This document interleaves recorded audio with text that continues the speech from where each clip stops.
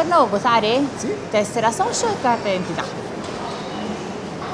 Come succede ogni tre anni, a inizio marzo, in tutti i punti vendita di Unicop Firenze, i soci sono stati chiamati a votare i loro rappresentanti su ogni territorio per rinnovare i consigli delle 38 sezioni soci Coop presenti in sette province toscane. Secondo lei perché è importante votare? Ma il punto soci, ci sono le iniziative, guarda, basta guardare le iniziative e si vede che è importante. No? Lo spirito della Coop è lo spirito sociale, è nata con questo spirito, quindi i soci sono importanti altrettanto quanto clienti, perché i clienti portano soldi, i soci oltre ai soldi portano secondo me anche motivazioni.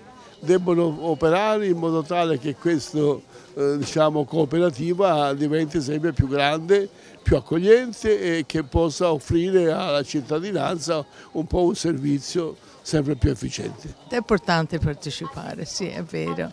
E proprio la partecipazione è aumentata rispetto alle elezioni del 2014. Sono cresciute del 10% le proposte di candidature, ma il segno più ha riguardato anche i soci che hanno scelto di andare alle urne. Il giudizio che la nostra cooperativa dà di questa tornata elettorale è molto positivo perché eh, c'è stata una grande partecipazione dei nostri soci per eh, scegliere ed eleggere i propri rappresentanti.